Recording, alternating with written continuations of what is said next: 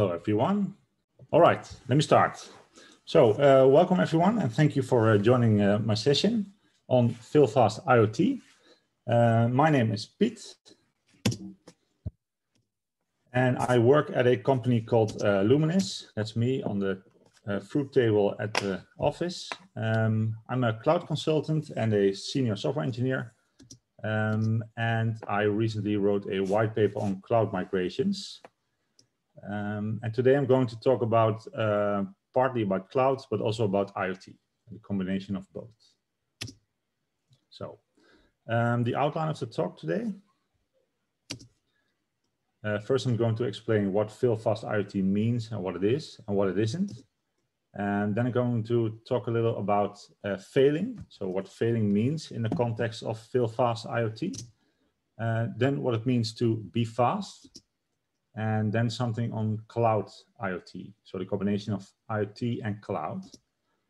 And then we're gonna put it all together and show you a demo from uh, a project we did using this process. So this is gonna take 35 minutes and at the end we have a Q&A session of uh, about 10 minutes. All right, so what is fail fast IoT? It's a process, a way to produce uh, an IoT and software project, but it's also a philosophy. It's a way of thinking about cloud and IoT and a combination of both. So how you can be productive using the cloud and using devices, connected devices. So we didn't just think of this for fun. We had a problem to solve. And the problem was that hardware development, in our opinion, is sometimes uh, really slow or rather slow. It's uh, gaining traction these days, of course, but for us uh, engineers that do both hardware and software, we wanted to come up with a way to uh, test our uh, products faster. Uh, there's also a disconnect sometimes between hardware people and software people. Um, but we think that uh, the advent of the cloud and IoT should be able to bridge uh, this gap. Uh, of course, you still have hardware people and software people, and you will always uh, have them. But I think uh, this process should be able to close the gap at least. Uh, what we also saw in a couple of projects we did that testing was mostly done at the end because hardware has to be developed, has to be productized, and then at the end, sometimes we were asked to do the software part, for example, the cloud part or the server side, and that didn't fit really well, and that slowed projects down. Uh, so what you got was waterfall-like projects with a lot of risk building up, and then at the end, a big bang, and then the test if it actually worked as expected. So we tried to make a, a process that was more agile than that and less expensive. Okay, so for whom is this? So who is going to be able to use this process? Obviously, it's for the R&D department because they want to do quick iterations of testing. Um, it's for software people that have hardware ambitions. So for example, if you're a programmer, but you also like to tinker with uh, Arduino stuff or uh, your, uh, your, your soldering uh, device or vice versa, because what hardware doesn't have software these days, right? And also for the curious. So if you're curious about this, then you're welcome to join. Okay, so the first part of fail fast IoT is the failing part. Failing has value because if you fail, you know what you are not supposed to do in a project, uh, which gives you a, uh, a different perspective on the, on the future of the project. If you fail, you also know that you have to avoid something in the future. And failure is something very intuitive to people. Uh, project groups, people intuitively know when something has failed, even if it's hard to express in words. So that makes failing learning, uh, but in a negative connotation. It also forces you to think from a customer perspective, because if you think about uh, the customer that's using your product, then you will know if you failed faster than if you only think about it from the software or hardware or technical side. Because you can do a great project, but launch a failed product. Another way to look at this is in the uh, perspective of a job to be done. So if you're a customer, you're not buying trunks and uh, bolts and a board with sandpaper on it and some uh, screws. What you are buying is the ability to do this. So if you're a customer, if you're a client, you don't buy parts or technique, you buy something that will be able to change your life, to make you a better or different you. That's a job to be done. So keep that in mind. So one of the ways to do this process is to fill till you make it. So for example, you know you're here and you want to end up here. So you're uh, at the present and you want to end up in the future where you have launched a product for customers. You know that the fastest way is a, a straight line and there's some island in the middle, so you have to go around it, but it looks fairly straightforward. But once you start your journey, you'll encounter something. In this case, a sea monster, but it could be a, uh, an impossibility uh, at the hardware uh, department, or maybe something isn't as easy as you thought it would be, or something is straight up impossible. So you have to go around that. So you try to go to the uh, endpoint again, and then you hit the iceberg in this case. So the metaphorical iceberg is uh, another failure. Doesn't stop you from reaching your goal, but right before you are there, you encounter another impossibility you go around it and then you'll get to your finish. So the point from uh, start to finish, from idea to project is never a straight line, as you probably all know. Uh, there's always a zigzag line, but the point on the horizon stays the same. It could also change. Maybe you decided to opt for the island in the middle of the sea because it's nice there anyway. Or maybe you should go more inland because at the sea there are rough edges. edges. Okay, the problem is that humans suck at failing because failing itself, the term sounds negative. Uh, you, you're, I don't know a lot of people um, that are uh, confident in telling me they failed. So this is implicitly discouraged by many people and companies. So you are told to not fail implicitly. There's also the sunk cost fallacy. So you're doing a project, you've already spent a lot of money on it, and nobody is going to pull the plug because, well, you have already spent so much money on it, right?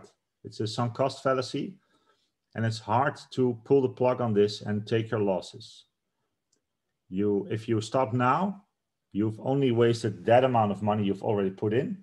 If you stop in a year, you've wasted that plus that next amount of money. But that's hard. So uh, we took a lesson from the book of lean manufacturing. Lean manufacturing says you have to build and you have to build quickly, then experiment with your build. And the experiment is uh, putting the thing into users' hands. And if the user has it, then you can measure if it does what you expected it to do. So you get data, for example, does the user do what we thought he would do? Can he succeed in their job to be done? Can he do what we expected him to do or her? You learn from this and then you improve your ideas. So the failing part is disguised as learning, as I told before. So failing is learning in this case. So you have to fail and then you can go into a new direction. So that doesn't mean your whole project has failed. It just means some part of it has failed. And then what? Well, congratulations, of course, because by now we know that failure is a good thing. You didn't fail everything, you just failed something. But you have to think about, about the thing I just talked about. What is it that failed or what didn't fail? And then for your next iteration, you're going to have to try to avoid what you just did that made it fail. and then you do it again, but slightly differently.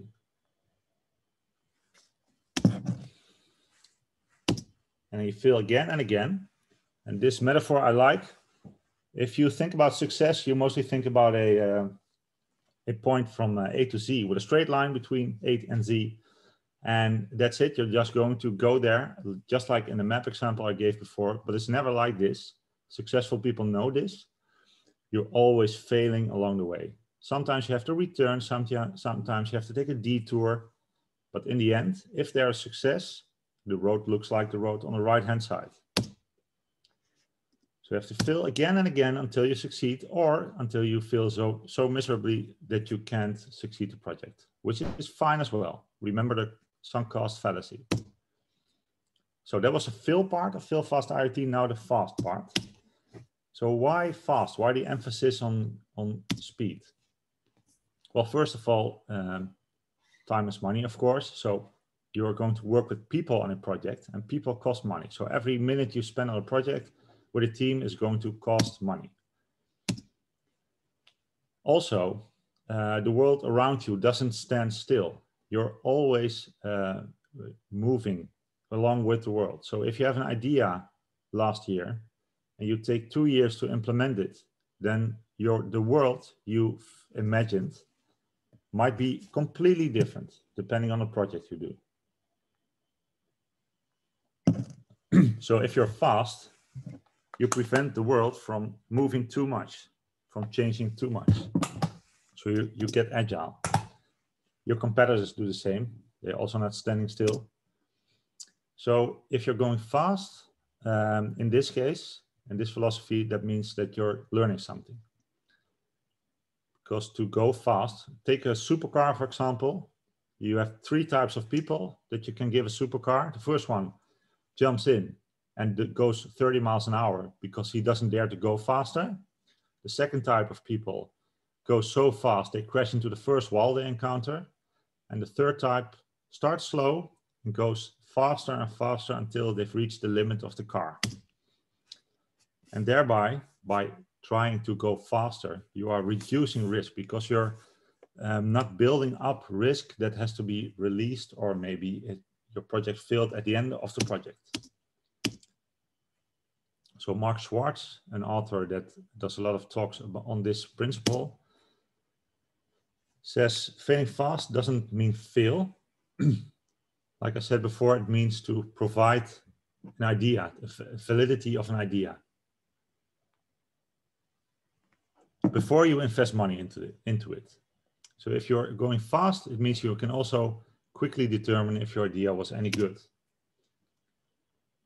So they can make small investments and pull the plug at any time instead of making a huge investment and then fail at the end, like a lot of government projects tend to do. Mark's also ex-government, so he knows what he's talking about. so about what I said about risk buildup, if you do a waterfall-like project, you invest a lot of money and you're not sure if that money is well spent until you release the project. In a waterfall-like fashion, that takes a long time. So your money is at risk right until you re release it. And then you know for sure if it was a worthy investment. So if you shorten those iterations, you can keep the rest of your money, reduce the risk for the time being, and then try to determine if your investment was worth it and if you would want to continue. And if you do even shorter iterations, like in the DevOps principles, you reduce risk even more. So how do you become fast? You cannot just say to a team of people, okay, now go and be fast. You have to get out of their way. So you have to reduce process. You have to trust them uh, that they do what they know is best. You have to hire excellent people, like Netflix does. They have this new book out, uh, No Rules Rules, and the idea behind their uh, their people strategy is you have to hire excellent people, be very honest about it, about what they do, give them a lot of feedback, and then remove controls. So remove process, remove rules, make sure that the excellent people are trusted to do what they know is best for your company. And you have to do a lot of iterations. Like I said, in lean manufacturing, building in this case means code and hardware. Measuring gives you data, which gives you something to learn about and then do it all over again, but slightly different. And going faster means minimizing this loop. So you, you'll start off rather slow and then you'll go faster over time. Okay, now the last part of Fail Fast IoT, the IoT part. and more specifically the cloud IoT part. So uh, looking at the state of DevOps, the power of the cloud um, is measured there. There are some elite um, companies and some low performers. The elite use uh, the cloud 24 times as uh, are more are 24 times as likely to use the cloud than the low performers, and the difference between these two types of companies is huge. So the elite performers that use cloud a lot can deploy on demand, while the low performers can deploy once, twice a year. The elite takes less than a day to go from a idea to production, where others, the low performers, can go anywhere from 12 to two times a year to do changes. If something goes wrong in production, the elite takes less than an hour to fix it, while the low performers can take weeks. Uh, the elite also make less mistakes than the low performers. So this means that if you have low cycle times, low restore times, and low failure rate, you're going to go much faster in getting a good idea or a better product in production. So you are improving constantly. This is what they call a, an innovation flywheel at Amazon, for example. Other benefits, like I said, 24 times as likely to use cloud than low performance elites. You can do better cost estimates and identification, so you can identify the costly parts of your system more easily in the cloud. You're more likely to stay below budget because you are so enabled to monitor your costs and to uh, to change what your what the cost is because you have a you don't have uh, capital expenses anymore, only operational expenses, and your employees will be, more satisfied and thus less likely to be sick. So just to drive home this point about cloud, this image you probably all know. Um, so on the left side is your data center, on the right side is uh, the serverless world. So in a data center, you manage everything, which costs you a lot of time and money. In the cloud, depending on the uh, deployment type you choose, um, you can manage anything from containers to nothing, just the code, which you can also scale. So you have to think about scale still, but all the rest is abstracted away by the cloud. So in our case, in Fail-Fast IoT, we've chosen to do as much serverless as we can, just to make sure we spend our time doing something that has a functional impact and is not wasted away on the infrastructure level. And the modern cloud, so AWS, Azure, Google Cloud, has a lot of services, managed services, and other uh, stuff like uh, IoT operating systems that enable you to do exactly what I just sketched. So FreeRTOS, for example, is an operating system for microcontrollers, uh, for uh, uh, Node MCUs, for example, or uh, Arduino-like devices that enable you to connect to the cloud with really very little investment. And Azure has a similar uh, business um, scheme. So they have a lot of measured, uh, I mean, uh, managed uh, IoT services that you can use to get into the cloud with your devices quickly. So once you're in the cloud, the sky is the limit. Again, this is to make sure you can put all your time into doing what the customer wants. So what so you can enable them to do their job to be done, to be a better person. So you're not interested, interested in the bolts and screws in a technique. You're interested in building what a customer can use to improve their lives. So if we put all of this together, we have the lean manufacturing validated learning cycle, the accelerated innovation with an excellent team. And we can do this because we have the cloud. So we can do Fail-Fast IoT. This is a logo we used internally to promote the process and to try it out. Okay, so now something uh, from our practice. So what we did was um, do some sort of idea competition. and ask people to uh, send in ideas to test out this process. The winning idea was a sort of beer distribution game, but with coffee. And a beer distribution game, for those who don't know it, is something like this. You have a customer that drinks the beer or the coffee, and on the other side, you have a manufacturer that produces the beans.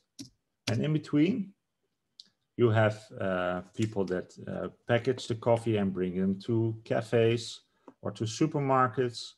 Um, and you have all sorts of in-between nodes in the uh, whole uh, road from manufacturer to customer. So what it looks like is you have a customer that has a demand for quantity. So a retailer has to uh, have more in stock than a customer asks for to prevent the customer for going for a cup of coffee and getting sold nothing. That's what, what you wouldn't want as a retailer because that means you will drive the customers away. So your, your stock is always bigger than the demand of the customer. The same goes for the wholesaler that uh, sells to the retailer.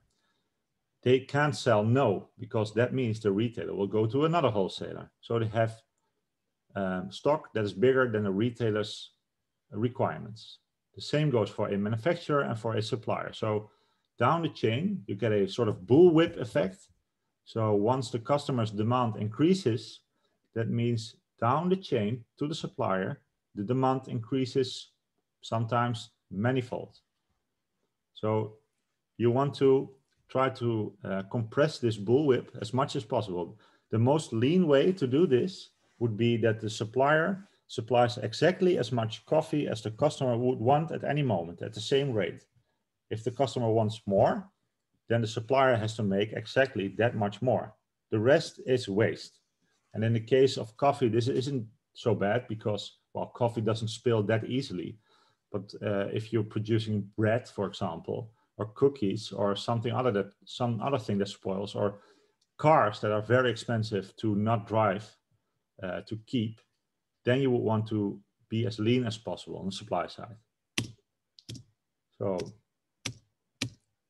Again, we followed the process, but instead of learn, we put in fail. And we went to work. We got a few people together that wanted to try out this process. These are those people. This is our office. And we got a team of people that were multi-talented, T-shaped, that had broad interest, but deep experience, deep knowledge. And in this case, uh, Ivo and Anne they are UX UI designers. That's their expertise. Silvan and I did some front-end technology. And Rashid Auke and I did some back-end technology. Rashid also did the hardware and Ivo too. So uh, multiple disciplines, uh, sometimes shared by the same people. So this is what we needed to try out our process. So we went into iteration one. So we started up our supercar, produced a logo, and tried to drive around the track slowly to see where the limits were, where the pain points were.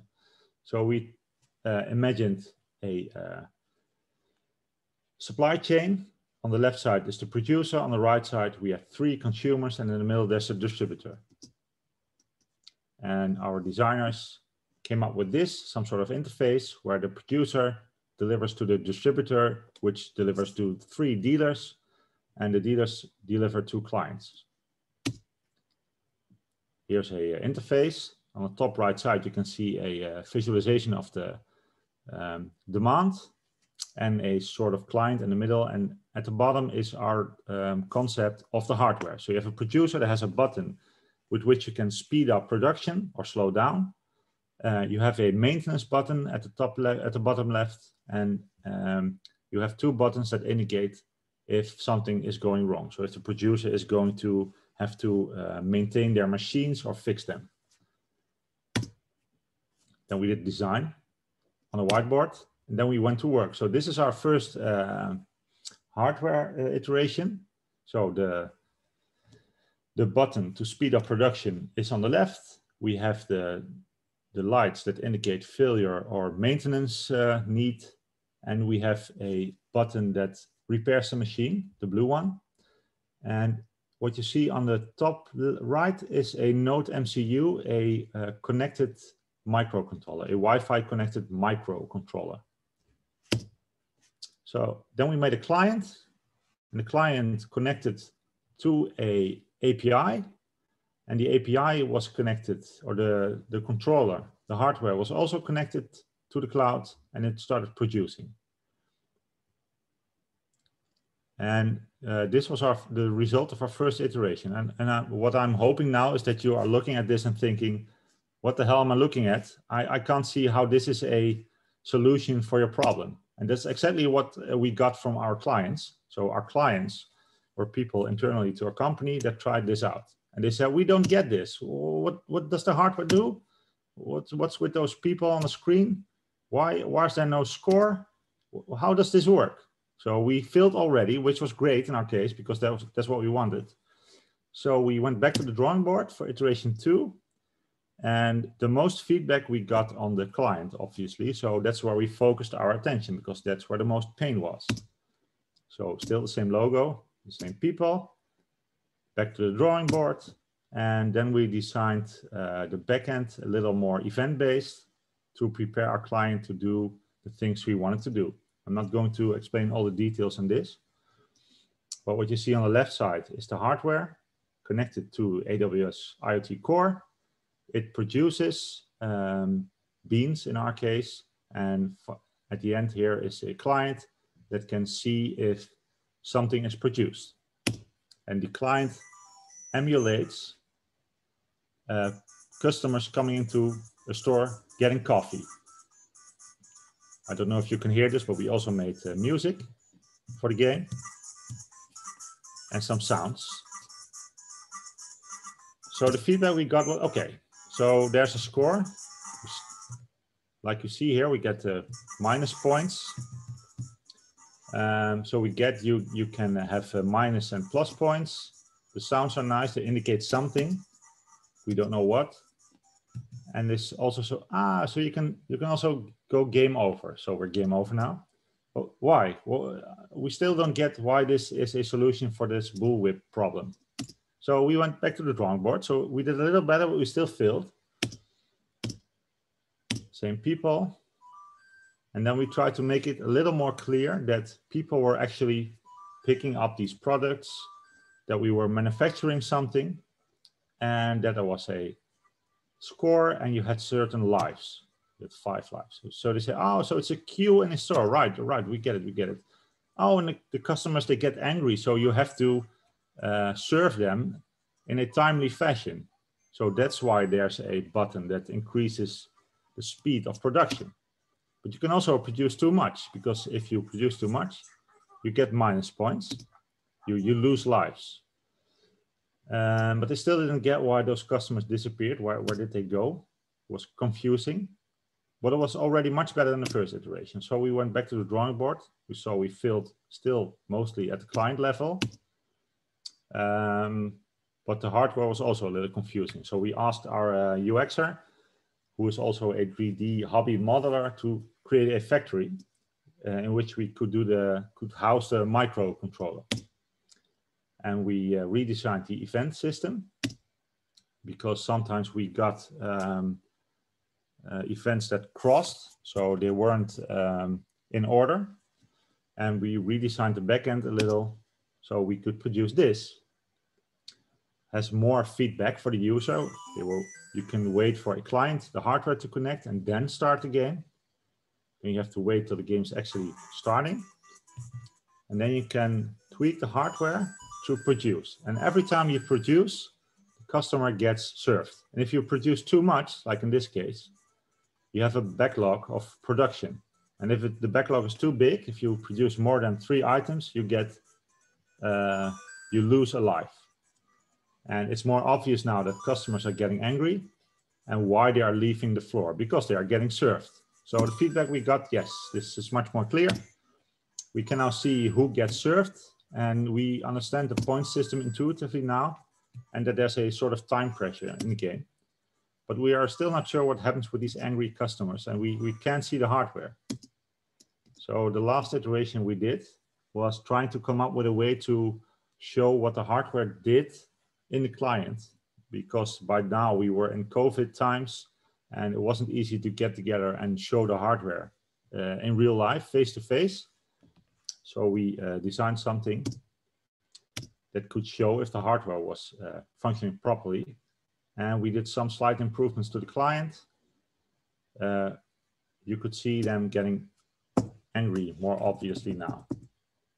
Oh, let me skip ahead a little. Yeah, like this. So if a client is not served now, he gets agitated and eventually will disappear into a hole in the ground. And you can see that they literally make you lose a life. And we speed the music up Mario style at the end. So that's where we were at iteration five. So now we're in the middle of iteration six. We're producing the hardware and trying to come up with a way to show the factory state so that next time we can do something about um, predictive, predictive maintenance. Okay, I just want to go back to uh, the iteration one, just to show you the difference between what we produced in iteration five and the last one. So this is our first iteration. And the last one looked much better already. Okay, so that was my presentation on Fail-Fast IoT. And now we have time for uh, questions. Oh, Arne has a question. How long do the iterations take and how long to complete the process until six? So um, our iterations took about, uh, well, we, we did it in uh, on company time, but we didn't want to spend a lot of money doing this. So the iterations were really short. So in man hours, I think we did um, one day per iteration uh, times uh, six persons. And um, the last iteration was a little shorter. So a few, uh, a whole workday for each uh, iteration. Okay, maybe I, I could come up with my own questions because uh, while I was doing this, I was wondering um, if you wouldn't be agitated about not seeing a lot of hardware. Um, so what I already told uh, was we wanted to focus on the produce on the client, uh, the know the the user of the system, and uh, the user was mainly ex uh, mainly experiencing pain on the client side of things and not on the hardware side. So we did a lot of software iterations uh, on a on an IoT project, which for me was quite interesting because I imagined it to be 50-50 uh, but uh, the, the thing is, uh, the project is not that complicated hardware-wise, but IoT shouldn't be complicated hardware-wise either, in our opinion. So that's why we focused on the software side of things, because at the cloud level, the sky is the limit.